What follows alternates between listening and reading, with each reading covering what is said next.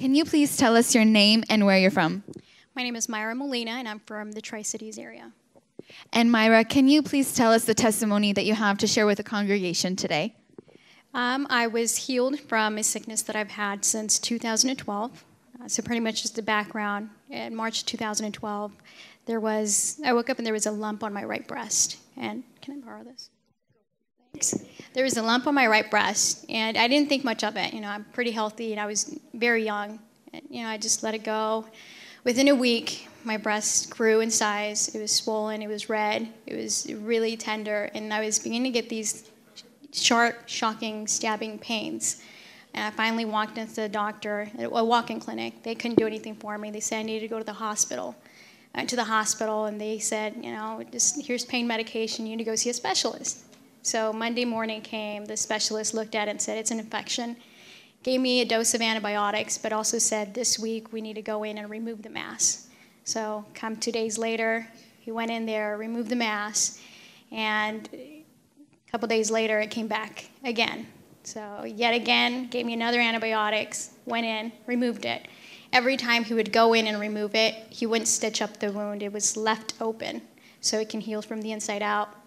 And when it was left open, it had to be stuffed with a gauze, a cotton gauze, so the width of a shoelace. You just stuff it in there and take it out. My husband was left to change this for me twice a day, one in the morning, one at night. It was the most excruciating pain ever. And, you know, within a couple months, it wouldn't clear up. It kept coming back. Finally, this doctor said, you know what, I don't think it's an infection. You got to go see another, another specialist. Here I go to see another doctor. Right when she saw it, she said, you have the symptoms of breast cancer. You know, inflammatory breast cancer, also known as a silent killer. And um, so she, she said she had to go back in and cut me open again, you know, to test it. So once again, I was cut open, took a biopsy, and, you know, I didn't have cancer. I didn't have an infection, yet they didn't know what it was. They didn't know what it was, how I got it, anything like that. So she kept just going back in there, removing, leaving it open, stuffing it, leaving it open, stuffing it. And, you know, I, I, was just really frustrated and really hurt. And at that point, I had given up. I had given up hope. I, I just, you know, I was in so much pain. I, I gave up. I literally gave up. And I was getting unexplained bruising on my legs. You know, my hair was falling out. Of course, it wasn't like chunks, but it was enough for me to notice. Uh, at that point, you know, I told her I can't do this anymore. She said, "Well, you're best off getting a mastectomy, you know, getting it all removed." I told her no. I mean, I'm too young to have it removed.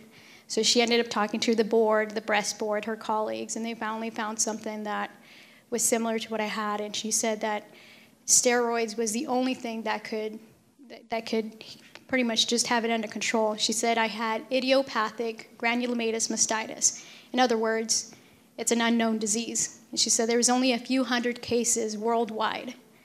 And here in the Tri Cities, it's really rare.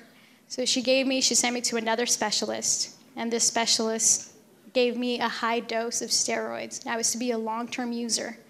With these steroids, you know, there's a lot of side effects because of it's a, it's a potent drug.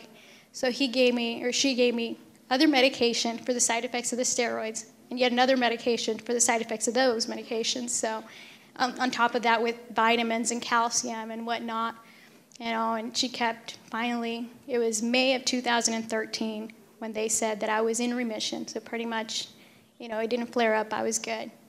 That was until October of last year, so three months ago. You know, I had, it was a week after I gave birth, and I, I noticed the lump again. It was there. So, I mean, I, I've been coming to this church, I've seen the testimonies, and, but, you know, the devil really knows when you're vulnerable, when he can get into you. So he came in and I started questioning God, you know, why me and why again and why now? You know, why, why, why? So I was complaining instead of praying. And I kept complaining and I'd go to the doctor. I had to go to the doctor again, and this time they went into the office and they had to do the same thing, remove it.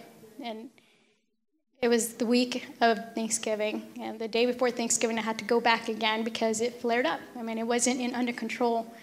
And I kept complaining instead of praying. So finally, I went in there and she said, you know, she, she told me, she's like, sit, sit on your hands, you know, sit on top of your hands or put your hands underneath, sit on your hands, squeeze the pillow with your knees. because the numbing medication will probably not work because of your skin being so destroyed already. Sure enough, I felt it. I felt everything. She had to stitch a tube in there, not close it, stitch the tube again.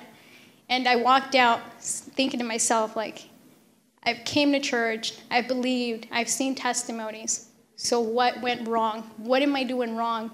And I went home and I started praying. And it was funny because I was, I guess it's not funny, but I kept praying. I'm saying, you know, God, you know me. You know what I'm going through. You know the pain I'm going through. So just heal me.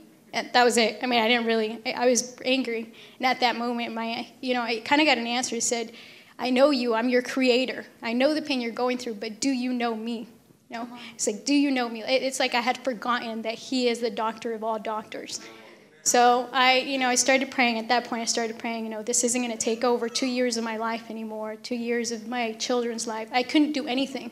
I couldn't hug my children. I couldn't hug my husband. I couldn't do anything. So I started praying, and I started praying bold, precise prayers. You know, like heal me, and I need to be healed. Not just cope with the pain, but remove the pain. You know, in this tube, that when I go in, you know, let it loose itself, not not be as painful. You know, just remove it all without any pain. And that's how I was. I went into the doctor, and she all she did was she opened it up, clipped a little bit, and everything just it went away, loose itself. So I didn't feel anything. I remember I sent a text to my leader, my home group leader, and um, some other leaders in, in, the church, and I said I, I, I prayed, and they, they were answered. You know, it wasn't a coincidence; it was an answered prayer. Let's put our hands together for Jesus.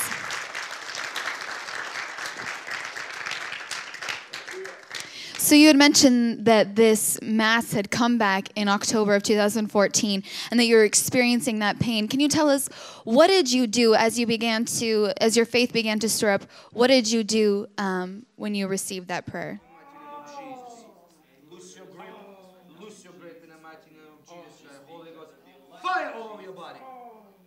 God can use any medium to express himself in the Bible, we know that Jesus Christ used handkerchiefs, the shadow of his apostles, to heal and deliver those who were in their midst. And we know that Jesus Christ is still using different mediums to heal and deliver people and to set the captives free. And this morning, we see that Jesus Christ is using the medium of the anointing water to set the captives free. It was November. You know, I knew I couldn't do it by myself, so I came in November and I was in the prayer line. And when I was in the prayer line, you know, as most of you come in, you, you want a healing, you want a breakthrough. And that's what I came looking for. I didn't come out and, you know, did the whole, I didn't feel anything when I was there, but I kept myself, you know, I'm going to be healed. I'm in faith. I'm the next testimony. So you don't have to feel anything in the moment. You know, there's nothing that's going to come out or anything, but you just need to stay in faith. You know, stay in faith that you will be healed.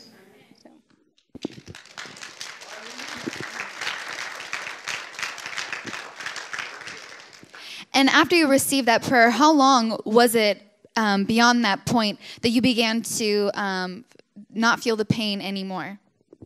Well, I came to November prayer line. I went in, and that's when I still had the tube in in the prayer line. I went to get it removed. About two weeks in December, into December, I noticed that I was I wasn't in pain at all. I wasn't getting these stabbing pains, and it was healed. The lump wasn't coming back, and this is without any medication anymore you know, I was I was completely healed, and I knew that you know it wasn't just because it, like I said, it's a coincidence. You know, it wasn't like that. You know, I was in the November prayer line, and two weeks into it, I'm fine. Now I'm fine. I don't have any pain either. Amen. Let's put our hands together for Jesus. And so now, Maira, do you have any scarring, anything like that? And what can you do now that you couldn't do before? The past surgeries that I've had, you know, a couple, five, six, you could see the scars. It's noticeable. This time around, there's no noticeable scar. There's no noticeable scar at all. Um, and, and my advice uh, for anybody that's here for the prayer line is keep yourself in faith.